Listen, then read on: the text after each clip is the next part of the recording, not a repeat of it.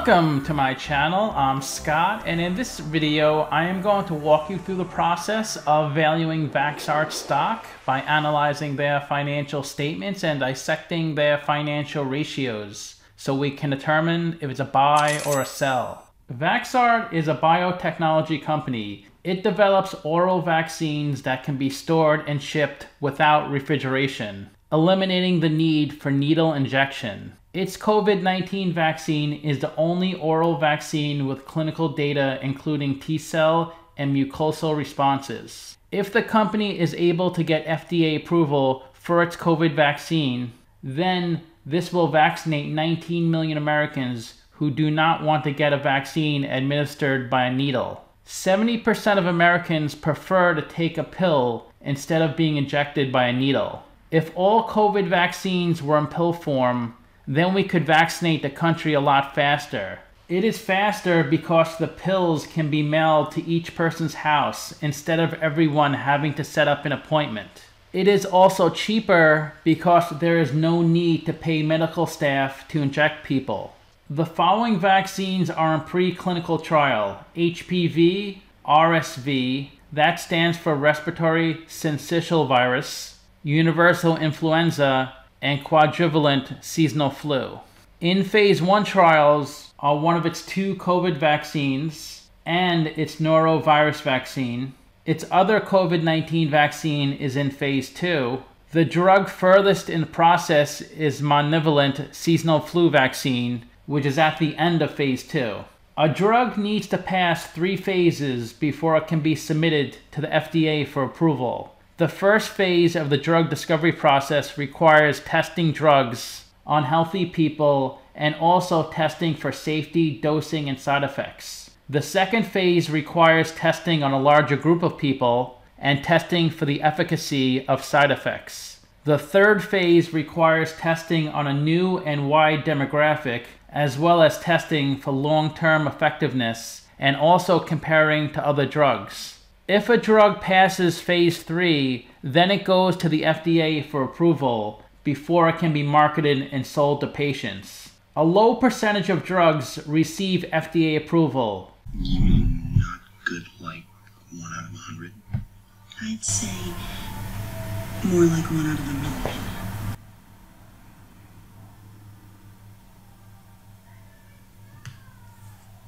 So you're telling me there's a chance?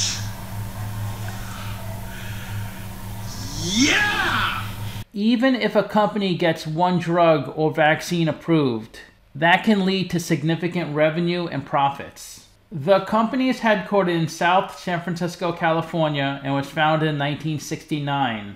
It can be found on the Nasdaq, Mexican Bolsa, Deutsche Börse, and Xetra. It became a public company via a reverse merger. A reverse merger is when a private company becomes a public company by purchasing control of a public company. It is cheaper and quicker than going through the traditional IPO process. Let's get started with the model. This is a small cap company, 1 billion market cap. They're trading at 796 a share and they have 126 million shares outstanding. Let's look at their financials. Free cash flow is cash flow from operations minus capital expenditures, and that's negative every single year. Net income is the profit or loss on the income statement. It's revenue minus expenses. That's also negative each year. Revenue is the sales for the company, and that's really low. It peaked in 2019 at 10 million. It's currently 1 million. This is the company's income statement from 2018 through 9/30 2021. The top line is the revenue, the sales, and you can see that's pretty low because they haven't gotten a vaccine approved at this point. It's mainly all service contracts and royalties. Below that is their operating expenses. A lot of that is research and development. And then their operating income, which is negative every single year. They spent 1.6 million of interest on their debt, which was the lowest amount in the past few years. And the bottom line of the income statement is their net income, which of course is negative every single year. This is their most recent income statement from the 10Q. This shows us the first nine months of 2020 versus the first nine months of 2021. And the top line is the revenue, the sales, it was 3.7 million last year. It's 800,000 this year. And a lot of their sales comes from non-cash royalty related to sale of future royalties. And this goes back to one of their predecessor companies, Inavir. They received 20 million of royalty rights from this company, and that was initially booked as a liability. And each year they reduced part of that liability off of their balance sheet and passed through revenue onto their income statement. As you can see, it says that right here. We will continue to record revenue related to these royalties until the amount of the associated liability and the related interest is fully amortized. Then below that is their R&D expenses, which generally are the major expense for a biotech company, and then general and administrative expenses, like payroll, rent, or the miscellaneous expenses to run the business. So they have negative operating income every year, they don't have much debt on their balance sheet, so it looks like most of the interest expense is related to the royalty payments. Since they're not bringing in much revenue, they have a net loss in both periods. This is their statement of cash flows from 2018 to 9/30/2021. The top line is operating cash flow. That's how much cash the company loses from its operational business. You could think of operating cash flow as net income converted to cash because net income is your accounting profit or loss. It's not actual cash. They spent the most cash in the trailing 12 months, 55 million, because even though they haven't had a drug approved, it costs money to test drugs. They have to pay their staff to do the testing. They have to find people that are willing to do the testing and sometimes pay those people. They spent 5 million in capex in the trailing 12 months. This is investments in property, plant and equipment. Operating cash flow minus capex gives you your free cash flow. Of course, they have negative free cash flow every year. They're pretty much running their business on equity. They raised 18 million in 2019, 111 million in 2020, and 127 million in the trailing 12 months. When a company issues common stock, that dilutes the current shareholders. But it's better to issue stock than debt when you have no cash flow coming in. Because if you issue debt, you have to pay the interest on your debt and then you go into more debt. When you issue stock, you don't have to pay a dividend, it's your option. This is their statement of cash flows from their most recent quarterly report. This is the first nine months of 2020 versus the first nine months of 2021. And the top part is operating cash flow. And the way you calculate CFO, you start with your net loss, and then you have to add or subtract the non cash items on the income statement, and then adjust for changes in working capital. They passed through a loss of 50 million and then we have to add back depreciation of 3 million, 6 million of stock-based compensation, and then non-cash interest expense related to the royalties, that's 1.1 million. And we have to minus out non-cash revenue related to the royalties. All the money from these royalties was received back in 2016. They put all that cash onto their balance sheet, but over time they're amortizing those dollar amounts from their balance sheet onto their income statement. They had a cash outflow of 3.6 million in prepaid expenses. A prepaid expense is when a business makes an advance payment for a product or service that's going to be received in the future. When they initially make the payment, it's a cash outflow and it's put onto their balance sheet. But when the company uses the product or service, it's taken off the balance sheet and it's a cash inflow.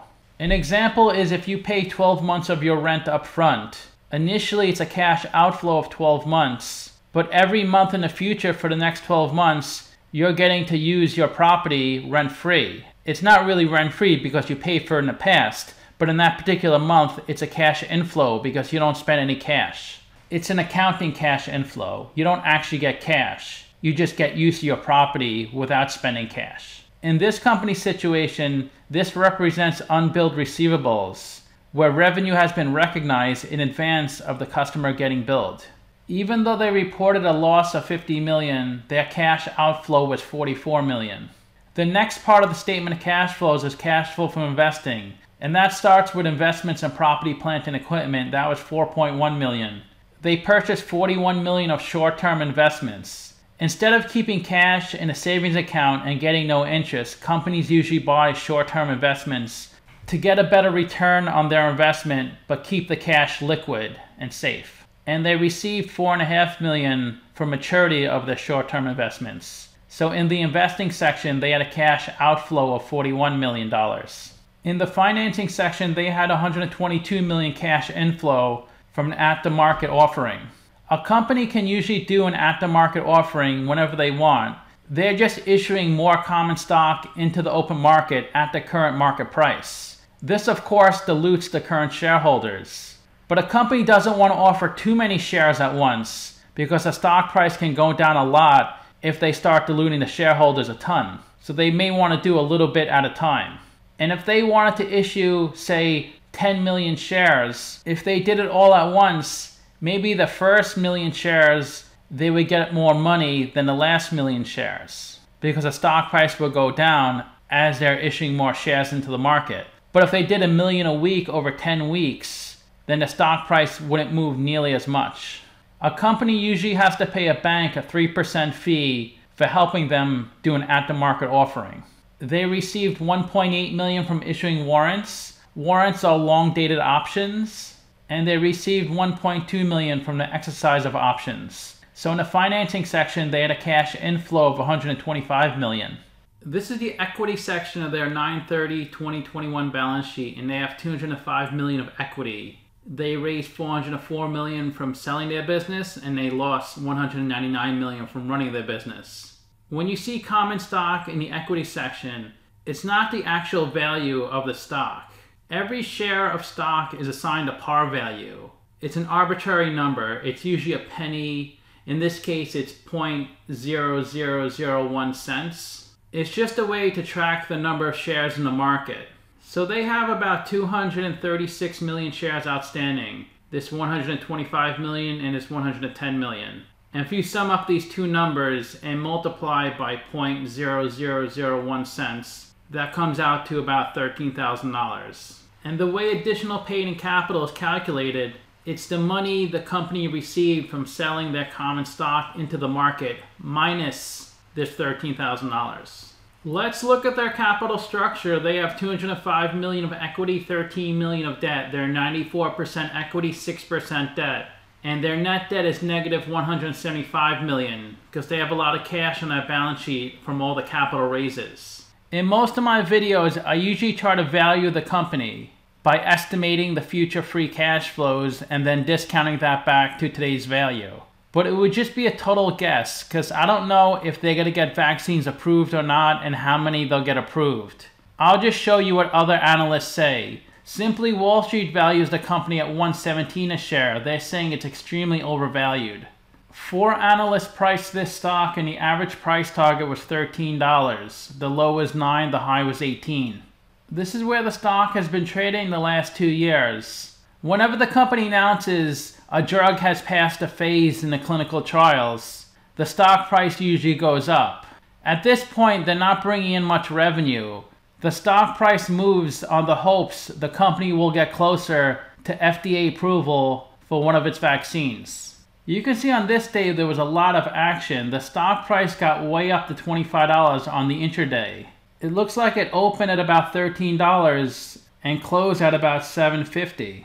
But at one point during the day, the stock price got up to $25. This could have been a short squeeze. And when you see green down here, that means there was a lot of buy orders. So that means the stock price went up. When there's a lot of red, there's a lot of sell orders and the stock price goes down.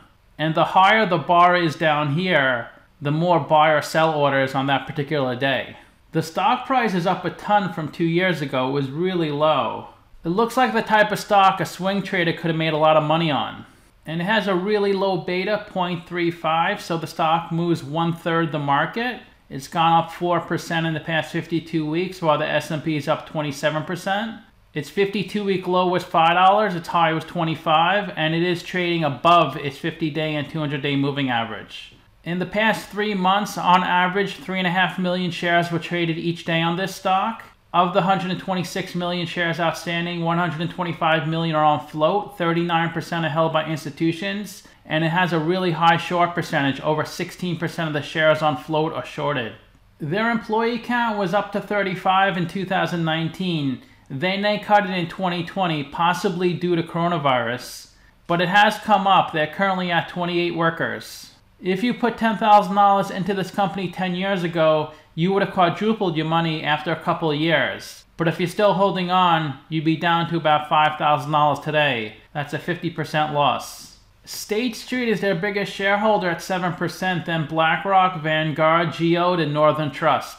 Let's look at their financial ratios. They have negative net income, so we can't look at the PE. They bring in hardly any sales, so they have a terrible price sales ratio. They have a good price to book due to all that cash they raised from selling stock. They have a really high current ratio and quick ratio.